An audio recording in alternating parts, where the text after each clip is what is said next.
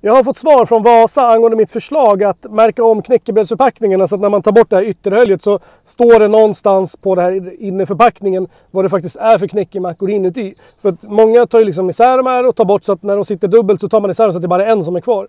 Det som är problemet då det är att det finns inte fryspåsar som passar till de här stora paketen och då måste man ju ta isär dem och ta bort det här ytterhöljet och då lägger vi dem i lite mindre fryspåsar och när vi gör det då ser man ju helt plötsligt inte skillnad på förpackningarna längre. Eh, men de är ganska avsnoppande. Alltså de svarar bara typ Nej, vi kommer inte att se över det här just nu. De tackar inte ens för mitt förslag eller någonting. Och jag tror att det här har att göra med att för tio år sedan då reklamerade jag några knäckemackor som var trasiga. Och sen för ungefär ett halvår sedan då sa jag att det här har ju faktiskt inte blivit bättre. Så jag skulle vilja ha ersättning för de här senaste tio åren av trasiga knäckemackor. Eh, och så höll jag på att strida med dem om det. Så att jag tror att de känner igen mig och eh, liksom fortsätter på samma spår. De verkar ha något liksom, horn i sidan på mig eller någonting.